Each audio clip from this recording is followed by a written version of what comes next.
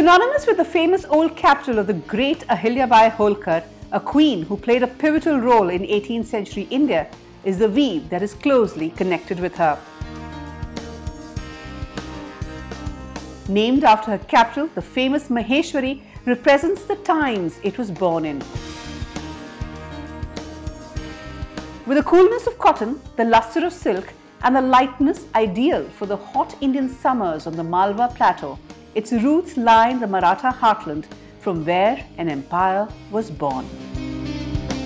Almost wiped out four decades ago, the Maheshwari sari also tells the story of an amazing revival. Bajirao I, made famous by a recent blockbuster movie, was the architect of an audacious and ambitious expansionary policy that saw the Peshwas of Pune dominate a large part of India in the 18th century. This stretch of the Narmada River at Raver Khedi is historic as it is from this very spot, the shallowest part of the river, that the Maratha armies crossed the Narmada to begin their conquest across the north in 1723 CE. As the empire spread, the Peshwa put his loyal generals in charge of large territories. The Malwa plateau was carved out between the Scindias, the Holkars and the Pawars, with the largest share going to Subedar Malhar Rao Holkar. This marked the beginning of the Holkar kingdom which would see its golden age under his daughter-in-law Ahilyabai. Within a span of 50 years, the Maratha Empire spread from Punjab to Tanjavur in present-day Tamil Nadu with its armies planting the Peshwa flag in Attock near Peshawar. The Marathas quickly slipped into the vacuum left by the collapsing Mughal Empire to carve a niche for themselves. If Bajirao was the architect of the Maratha expansion towards the second half of the 18th century, it was Ahilyabai Holkar who emerged as the most powerful ruler in the Malwa region. The evidence of her clout can be seen all the way in Banaras where she commissioned the rebuilding of the famed Kashi Vishwanath temple. With the rise of the Maratha Empire came the traders and the rich fabrics from the north. These would pass through Raver Khed down south to the Peshwa capital of Pune. You can still see the ruins of a toll booth here in Raver Khed which the Peshwas built to collect revenue from the merchants. The Maratha Empire would reach its zenith under Bajirao's son and successor Peshwa Balaji Bajirao, more popularly known as Nana Sahib. The immense wealth from the Maratha campaigns in the north and the south made Pune one of the richest cities in India. New peths or settlements were built, giving incentives to traders, merchants and artisans to settle down in the city. At the SNDT University, Mumbai, we spoke to the head of the history department, Dr. Varsha Shirgaonkar, author of a book on the cultural history of the Peshwas. Dr. Shirgaonkar explained how Pune, the Peshwa capital, became so famous for its saris and weaves. Initially, to cater to the needs of people, they were imported. But imported in the sense by that time already Devgiri was under the Peshwa rule. So it was just the fabric being brought from Devgiri to Pune because weavers were in Devgiri only, in Paithan. The weavers were in Paithan. And before the entire setup of handloom and all could be established in Pune, it was best to bring that cloth. But uh, once when the demand started increasing, because uh, from the time of uh, say Nana Fadnes, that is Savai Madhavrao Peshwa and all that, Pune became a very, very important uh, center of uh, population shifting, migration also, because they started getting jobs also. And naturally, uh, they decided to set up handlooms even there. So similar kind of silks could be produced here. And once when uh, that manufacturing, manufactured product textile product was from Pune, then it did not have the name as Paithani also. Then naturally, yeah. we have the local name, so Narayanpet. This was the beginning of what would later be called the Puneri sari. Even today, go to Theyur and you will see power looms like this make these saris in large numbers. Since it catered to the general public, the Puneri was and is still an easily affordable sari made of simple cotton. Historians point that as Pune emerged as a commercial hub, weavers came from far and wide. Paithan and even the Andhra belt from centres like Mangalagiri, well known for its famous cotton weaves. Even though uh, Nizam and the Peshwa, they had uh, politically uh, not very, very good relations because they were competitors of each other with regards to Krishna Tunga, Tungabhadra Doab. Yet culturally, we have lot of give and take. So many artisans coming from there, coming here, and uh, artisans going from the Peshwa period to the south. This exchange of artisans resulted in a rich cultural synthesis in the weaves. Saili Palande Datar, a research scholar and an expert on the history of Pune, reveals how the city eventually became a retail hub for textiles from all over India. In those days, the textile did not come from a, uh, from a, a particular area. Uh, we see that uh, silk is generally coming from north or down south. Uh, from Ganga Khora, so it is called Ganga Khori. We have uh, Maheshwar and Chanderi giving, uh, providing the uh, the fabrics in the, those areas. We have Surat people bringing in lot of cotton uh, even uh, Maratha belt, Marathwada belt is giving lot of cotton and mix of cotton and silk which is called Garba Reshmi which is one of the most favorite of all the royal ladies. Uh, we see very uh, new sort of material like velvet and satins coming from Mumbai because of the British uh, influences. So all those have been used for particular type of garment even for the soldiers because government uh, it was a it was a tradition that you give a ghoda or a horse to the uh, bargir and you are supposed to give two sets of uh, uniforms. So those uniforms were made from coarse sort of cotton which was coming from Nanded, Saswad and nearby areas. So uh, all that uh, found a market in Pune which was the biggest market of that time and that is why we see that uh, Pune developed essentially as a retail market. However, the lack of local production of silk or cotton meant that Pune could never really take off as a textile production centre and so didn't survive the fall of the Peshwas in 1818 as with it they lost patronage. However, while the handloom weaves of Pune no longer survive, what we have are the lush weaves of Maheshwar, a town once described by Maratha minister Nana Fadnavis as a threshold of Pune.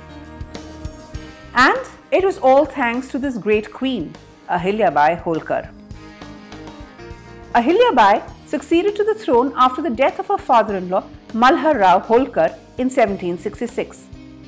Originally based out of Indore, Ahilyabai Holkar shifted her capital to Maheshwar soon after taking over.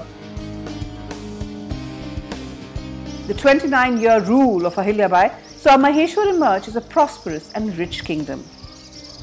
Sugandha Johar, one of the foremost experts in the history of Maheshwar, explains how at the heart of Ahilyabai's success was her smart financial decisions.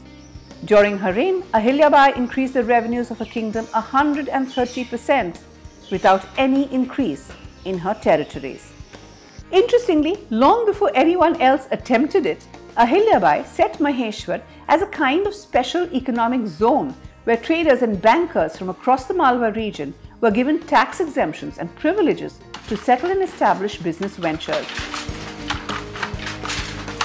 It worked and clearly Ahilyabai was well ahead of her times. At Maheshwar, she, I find that she tried to do a lot of different things to increase the economic and prosperity.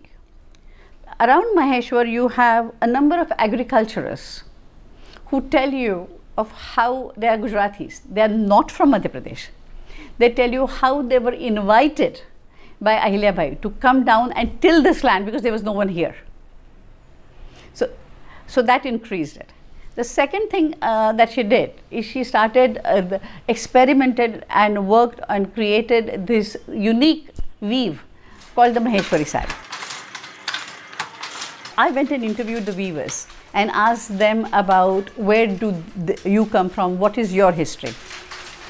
And I came across something very, very interesting. First and foremost, many of these weavers told me that their ancestors were brought from Mandu. And the second and even more important thing is they belong to a special caste who believe that their preceptor was Kirat Arjun, the famous king from Maheshwar. The Maheshwari sari, so popular today, is perhaps one of India's youngest weaves. It was entirely Ahilyabai Holkar's creation. She brought in weavers from Mandu, which was the old capital of Malwa, and gave them incentives, appointed special officers so that they could get a steady supply of cotton and silk, and encouraged experimentation. The most famous variety of the Maheshwari, for instance, is the famous Garbh Reshmi sari, a combination of silk and cotton woven in a special weave. The rich looking yet light fabric was a big hit with the Maratha women. Over time, even these traditional Navwari or nine yard saris with traditional Maharashtrian borders would become famous as Maheshwari saris. Sugandha Johar feels that Ahilyabai Holkar was such a brilliant administrator that her rule would make a fantastic management case study. She says it should be taught in business schools today.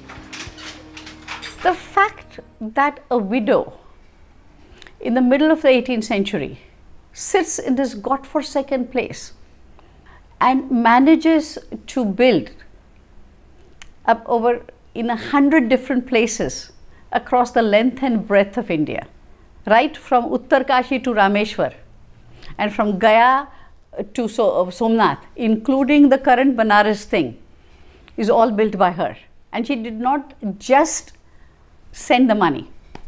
She had the architects, they drew up the drawings, she approved the drawings, she approved the builders, asked, called for the builders, sent them, she approved, found the project managers, found the best way of discounting money. She was so smart, I told you she was tight fisted. She knew that if she, when discounting money and giving money to the bankers, if she used coinage which was minted in Maheshwar, which was purer, she got a better deal for the same Holkar Shahi things, uh, rupiah, than if she used from the Chandwad mint. So she never used the Chandwad, she only used that mint. So she, she knew her money and she was constantly in, uh, we have letters, extant letters, constantly keeping in touch. Okay, where have you been? What is your problem? Why haven't you done this? We found this somewhere else. That sort of real control. To me, she is she should be one of the most important management case studies that Indians can conduct. But then we only look west. After Ahilyabai's death in 1795, however, Maheshwar went into decline. The Holkar capital was first shifted to Bhanpura in Mandsaur district of Madhya Pradesh and then finally to Indore in 1818. It is Indore which is famous today rather than Maheshwar. And while Indore has become a large commercial hub today, Maheshwar continues to be a small town with just memories of its old glory days. With the fall of Maheshwar, its textiles too went into decline. The biggest patrons of the Maheshwari saris were the royal and noble families from India. After independence, the patronage died out and the weavers fell on hard times. With the lack of patronage, the quality of the saris also dropped drastically. A large number of weavers from Maheshwar migrated to places like Bhiwandi near Mumbai, where there were power looms. In fact, few realize that it is the out of work weavers after the fall of Peshwai Pune who migrated to Mumbai in large numbers as the British set up their cotton mills here. Eventually, as large textile mills were set up, traditional weavers took up work there, laying the foundation of the modern Indian textile industry in Bombay. It always happens when the patronage is lost, the artisans and the artists, they become helter skelter and they try to seek the new masters. So, we have got uh, information that many of them started shifting to Bombay. And uh, in Bombay, then from 19th century, we have got the commercial class, the Parsis coming up, the textile mills being set up. So, you know, the whole scenario changes, but it doesn't become overnight. It happens over the period of about 50 years, 100 years. Almost wiped out between the 1950s and 70s, the Maheshwari is today seen as a successful revival story thanks to the efforts over the last four decades. This is the Maheshwari Weaving Center within the Maheshwar Fort, started by the Rehwa Society, set up by Ahilyabai's descendant Richard Holkar and Sally Holkar. The society was set up in 1978 to revive the Maheshwari and also provide a means of local employment. Initially supported by the likes of noted handloom revivalists like Kamla Devi Chattopadhyay, Rehwa has come a long way. Richard Holkar explains how it all started.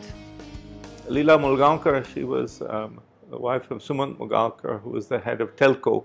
She was at that time head of the Central Social Welfare Board. Uh, and she said, look, she's Maharashtrian. Uh, so she said, look here, uh, why don't we put together an NGO uh, the Central Social Welfare Board will fund it. Our requirement is that you concentrate on giving employment to women. Uh, so, oh, fine, excellent idea. So she gave us 86,000 rupees in 1900, I think in 77 or 78, around about that time. Uh, and we started off. And it was very difficult to get the women to weave because the weaving had been done the system of weaving in Maheshwar and many parts of India, I'm sure it's the same, where basically the weaver is the guy. He's the weaver. Money is given, who's it given to? The guy. Now, guys being guys, half the time they spend in the bazaar with their chums and half the time they're weaving. When they're not weaving, their wife is weaving. So, readily skilled labor force, but no economic power. And not enough money going to the home. Not enough money going to the home. So that was the objective of Leela Mulgaonkar. She said, we want to empower women, we want to have more incoming into the family itself so that the family can rise. The Rehwa Society began with eight women weavers in 1978. The idea was to get local women well trained in their household looms to come and work with facilities. Richard Holkar tells us that the idea was not just to revive the Maheshwari, but also make it relevant to changing tastes and styles. This was not always easy. The traditional skills and traditional craftspeople uh, are risk averse.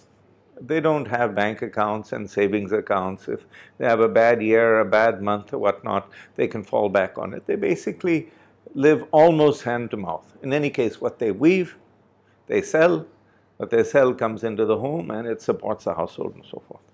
Um, so um, they had been weaving the same thing, but no success did they have, you know. Nonetheless, it was very difficult for them to get onto our idea. And our idea, uh, my idea is just me and all these other uh, well-wishers, uh, was to make of the Maheshwari sari, at that time it was only saris being woven, a fashion statement. It took four to five years before they could understand, and we could also understand, that the market tastes change, the colors change, the borders change. Uh, if you don't keep up with this, then you're nowhere. The work done by the Rehwa Society between 1980 and 2000 was instrumental in transforming the weaving community in Maheshwar. From a fast dwindling community of 250 weavers, today there are more than 2000 weavers in Maheshwar town. From saris, Rehwa Society has diversified into dupattas, shawls, stoles and dress materials made from the Maheshwari fabric which is extremely popular. To cater to the increasing demand, Rehwa employs around 70 weavers and they produce over 2,000 saris, 4,000 pieces of dupatta, shawls and stoles and 7,000 meters of dress material in a year. Sold through their distribution network across major cities in India, the price of the Maheshwari sari ranges from 4,000 rupees and above depending on the fabric and the intricacy of the design. The growing number of weavers at a time when so many are shutting their looms across India is a testimony to the success of the revival of the Maheshwari. Richard Holkar believes that the lessons learned from the work done here are relevant elsewhere across India. The only way that it can move forward as a niche product is in continually doing uh, interesting things which cannot easily be done either in the power loom or in the mill. Uh, in addition to that, uh, the mixture, purpose-made mixture of weaving and printing, weaving and embroidery uh, or ornamentation of whatever sort you want is something which the handloom can do. The revival of the Maheshwari has also rejuvenated Maheshwar, Ahilyabai's old capital, and the growing prosperity of the weavers here is evident. They have not just adapted to changing tastes, they are today also embracing change. 34 year old Yashwant Holkar represents the young generation holding a torch to an old legacy. He says there is a lot that he has learned from Ahilyabai, who has been a great influence in his life. For me personally, uh, Ahilyabai stands for principles. Principles of integrity, equality, uh, humility. Uh, she stands for a universal approach towards bettering society. Um, and, and we see that in the works that she did, not only in her own state, uh, but across India. Um, we see that in how she managed her court to, to include um, views and, and um, perspectives from across cultures, across religions, across castes. So, um, you know, her role for me um, and what I see more and more people gravitating towards is an example of um, what India can be in a progressive manner, but holding on to fundamental values. Um, and we see that in Maheshwar. The DNA of Maheshwar has remained intact, you know.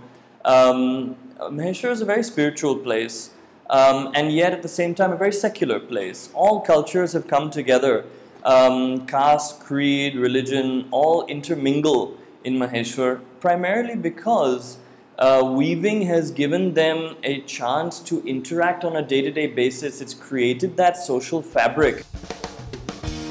Today, Ahilyabai Holkar statues dot towns and cities across India. It can even be seen in the country's parliament. There are airports, universities and public institutions named after her. And it is only apt that this weave, which is her legacy, is thriving because it has adapted to the changing tastes of a new India.